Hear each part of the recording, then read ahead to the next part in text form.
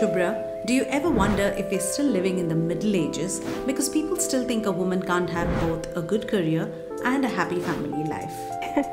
Please help us break this myth once and all, will you? You compromise on both when you're juggling career and family. Well, it does take effort to balance a career and family, but you don't have to think of it as a compromise. The trick, I think, is to not try to be a superwoman, to prioritize, to delegate, to ask for help when you need it, and to communicate openly with family and with office colleagues. After all, they have families too. One of the things I really value about companies like Accenture is the time and movement flexibility that they offer so that working parents like us can manage our schedules better. Women with families are not committed to work.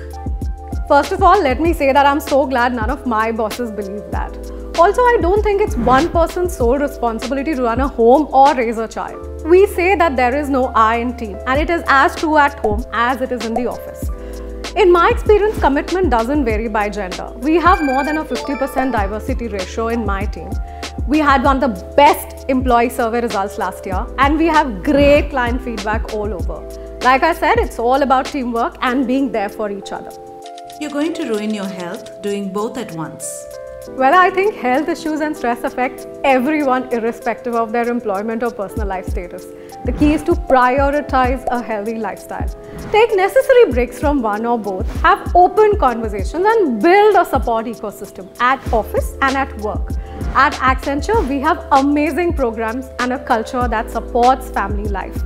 From our family leave policies to cultural acceptance that personal needs can come first. No matter what you do, it won't be enough. But that's the point. You can't please everyone. We must understand why it's good to say no, set clear expectations, and always communicate. Have clarity around goals and objectives, articulate your needs to the team, and people will support you on your journey. I've always used this mantra for my success. That sure undid a lot of tough knots. Now, it's our turn to shoot some rapid fire questions your way.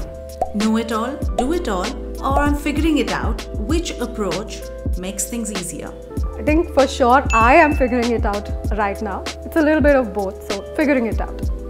Persistence or patience? What helps you balance your career and family? Well, I think you need a little bit of both. I personally lean towards persistence, but I am definitely learning patience from my daughter. Routines or go with the flow? Which works better for you? Uh, a mixture of both, I would say. My family knows all about my work, or it's just too hard to explain. Well, I think they know what I do, but I don't think they'll be able to explain it to anybody else. That show was fun and enlightening, Shubhra. Thank you. Likewise, thank you very much. Look forward to more talented women like you joining us at Accenture.